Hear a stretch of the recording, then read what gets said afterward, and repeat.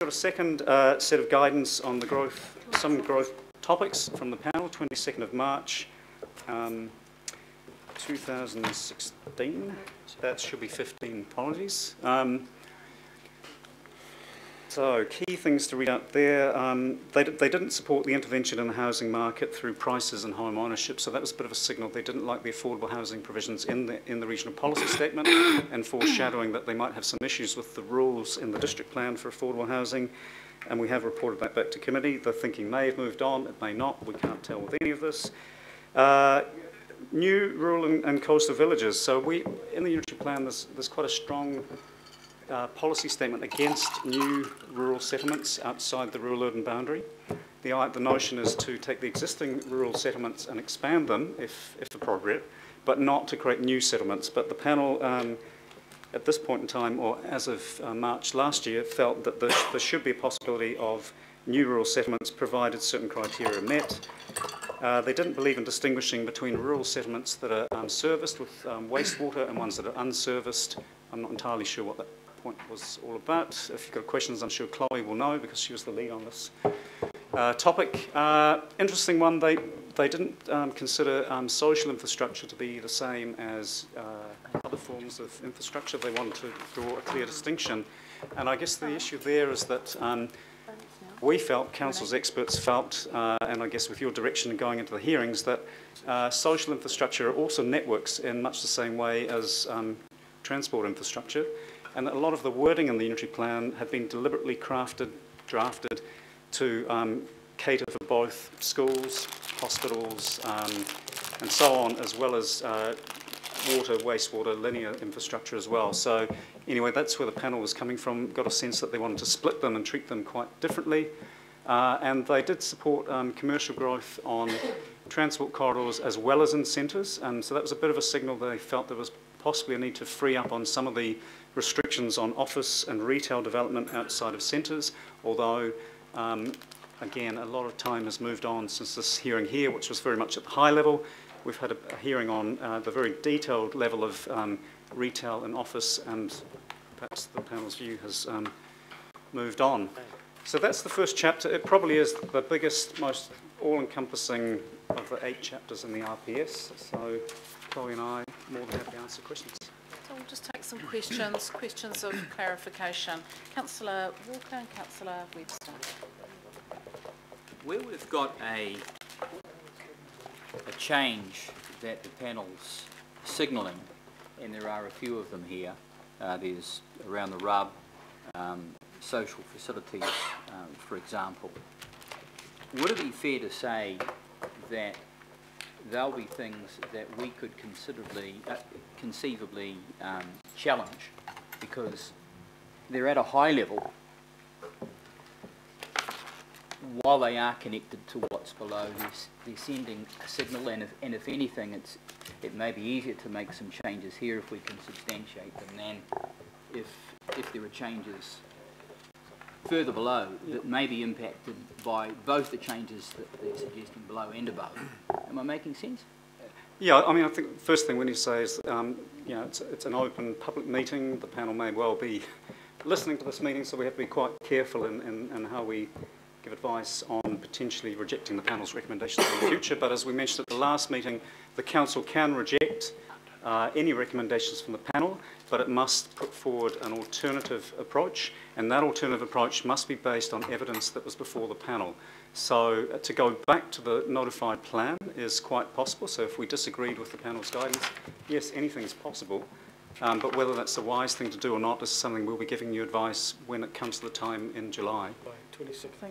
I think there's also the issue that what we discussed last time is that rejecting aspects of the regional policy statement has a knock-on effect yeah. down to the lower levels of the plan and the more parts of the plan that we reject, the less likely it will become effective and operative.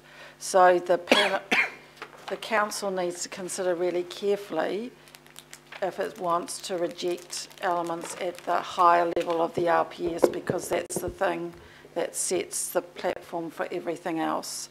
But as John says, we don't know what the recommendations of the panel will be at this stage, once we do, um, we will obviously identify to you where their recommendations are at odds with what this council position has been at the hearings. Okay, got a, got a follow-on question. In an instance where there has been some interim guidance, and let's say that's sparking some, some warning bells on our part, um, say it's around social facilities, say it's around the RUB or, or the like, uh, are we doing a bit of homework around those sorts of issues in advance, given that we're going to have a pretty constrained time frame later? So where we felt strongly the panel was perhaps heading in the wrong direction, we, at subsequent hearings, uh, took the opportunity to really stress our reasoning as clearly as possible. So, and often we brought that through to committee and got a direction from you that no, we should hold the line for now. And so at the subsequent hearings on the rules, we were often quite clear with extensive evidence to really bolster our original position. That's the best we've done so far. Going forward, um, our team here are starting to do some thinking around um, where we might need to go, but um, that's very early days yet. And um, it was mainly that second opportunity at any subsequent hearings to really drive things home and present the best case possible. So we did that in many cases. So just to let people know, I've got councillor Webster, Casey, Anae, Lee and Cashmore. Mine's just a very quick, um, on that interim guidance from panel on growth 20 March, you, did you mean 2015, not 26? Yeah. Yep. Sorry, I'm just, because these are going to be quite important documents, so I want to make sure I will what comes make- first. So before we hand these out any wider, we need to make sure that's changed. Thank Thank you. you. Councillor Casey. I'd like to know the evidence that the panel produced to support their interim guidance on uh, non-intervention on housing, and also that social, social facilities are not infrastructure. The first point, the panel didn't call evidence itself, but others presented evidence. So you mean evidence from other submitters? Um, What did they use to come yeah, to they that would have used evidence from other submitters. So I mean, Which we can. Yeah. On their Chloe, can you answer that? Otherwise, we do have our leads on I think, affordable housing and. yep, I, Yep. I, I can see councillor Casey's question is valid. However, given the fact that we have a huge amount of information to get through today, Good. we, no, that, that may be a discussion to have directly, I think, councillor Casey, but the bottom line is, I think I heard councillor Quax say this is all on the, on the panel's website. This was interim guidance from the panel based on all the submissions they heard.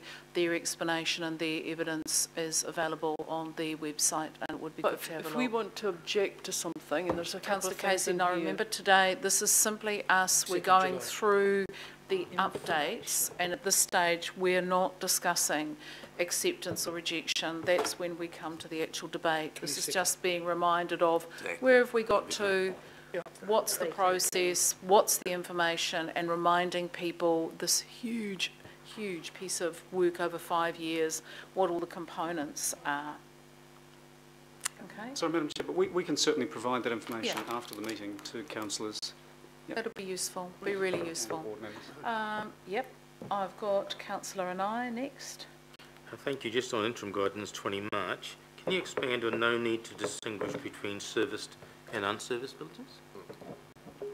Certainly, um, through the chair.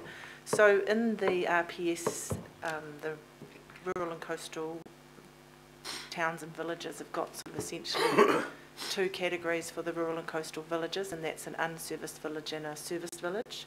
And the reason for that is, um, it goes back to the Auckland Plan, which categorises those villages, and the um, ability for those villages to accommodate growth based on their capacity of infrastructure. So there's a slightly different emphasis on um, settlements, uh, villages, serviced villages are anticipated they could accommodate a bit more growth, whereas an unserviced village, you don't really want to encourage a whole lot of growth in there because then that's going to put pressure on the council and the council's um, CCOs to actually start servicing them. So that's the differentiation, and essentially the panel didn't think that differentiation needed to be made. Um, the other point is that uh, the unitary plan indicates a RUB will be um, applied to serviced villages around that growth issue and not to unserviced villages. So just further on that. So what you're saying is the service has got infrastructure in place already and the unserviced doesn't? That's right. But they're not differentiating between the two? Yep. They don't, they don't believe we need to, but that, but we have, yeah. They haven't said any great, anything more than that, really, about why they don't think it needs to be distinguished. So we can't debate that now, where they've just said that. We might agree or disagree, but that's simply a clear statement of what they believe. Um, It was a clear statement what they believed on the 20th of March last year. And as John has said, they made it very clear with these interim guidances that it was only guidance at that point in time, and they reserved their right to change their minds or their position after they'd heard other evidence. So we actually don't know what they're going to recommend in their final situation. Thank you. Councillor Lee? Yes, um, the, the notion that the regional urban rural boundary will be recommended by the panel to be a district plan matter um, is a worry. Uh, It's, it's not really logical. Um, and the idea of setting a rural urban boundary or a metropolitan urban limit goes back to the, when regional on, planning first Councillor Lee. began. Councillor Quax, you have a point of order? Yeah, Madam Chair, um, I'm- I'm starting to be- get a little uncomfortable with the way the direction uh, is going because we're, we're in danger of debating these issues now before we get any kind of direction or any kind of uh, recommendation from the panel. And I see it's an exercise in futility to sit around now and debate. That's not a matters point of order. No. which Well, may or may not come, no, and it is a point of order, Madam It Chair, it's absolutely a I'm- point And of I'm order. happy, I'm because happy we're with in that. real- We're So let's not waste here. time debating the point of order. I agree. Councillor Quax, you're right. Councillor Lee, I was making notes Well, I'll tell you this saying. now, in Can I- unitary plan Council- panel, there's going to be a hell of a fight if you try that one. Wow, councillor Lee, take a deep breath. Let's actually remember why we're here, and why we're here Represent is to, councillor Lee, we're here to actually be updated on the interim guidance, on the submission process, and to remind people who may not have attended all the meetings or who may not have participated in the process, how we got to where we got to. This is, as councillor Quax says, not the time to debate the issue. A, we risk putting ourselves in legal harm's way, and B, we don't have all the information in front of us. So debating it now is a futile effort. Um, councillor Cashmore. Yes, thank you, Madam Chair. Just a bit of clarification, John, if I may.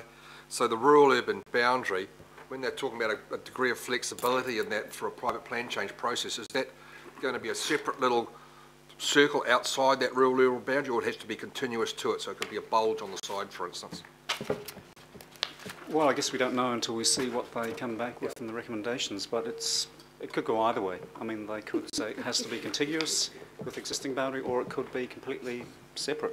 Um, we, we don't know yet. So either way is possible, depending on where they land. Yeah. Okay. Good question. Um, Mr Thomas. John, in the summary of submitters' views on page four, you, you sort of make some qualitative comments about what submitters thought on urban form, um, but not so with infrastructure providers. And I'm just wondered, wondering if there wasn't more of a qualitative comment that you were able to draw out of the submissions from infrastructure providers. What's the one from Chloe? I mean, I, there, there was certainly um, general support for uh, a more compact urban form and certainly coordination in the greenfield areas when new land comes on stream. Other than that, uh, and, and Auckland Transport and Watercare, two of the biggest infrastructure providers, were part of the council's team, so they didn't make a separate submission. So AT and Watercare supported that approach in the RPS, provided evidence on behalf of council on that approach in the RPS. In terms of other infrastructure providers, the key ones, I guess, will be NZTA, uh, Transpower. Chloe, do you recall? Yeah. They sat with the, um, Yeah, I mean, I think the, the infrastructure providers, as John said, were generally supportive of the compact form and, and- and the coordination of infrastructure and not wanting to end up being dragged all across in, into different Right. parts of the region all at the same time. But a big focus of them, of their submissions was really about protecting their existing infrastructure as well and the reverse sensitivity sort of That's right. effects of development around that. Yeah. Um, So that's kind of what I'm looking for, because what, what we know they submitted together, we know Auckland Transport and Watercare certainly have different views on aspects of the plan. And I guess I'm just sort of clarifying the fact that, that in terms of the overall urban form, there was, there was alignment, and then obviously there was a degree of difference of opinion in the detail, and that was sort of worked through as part of the process.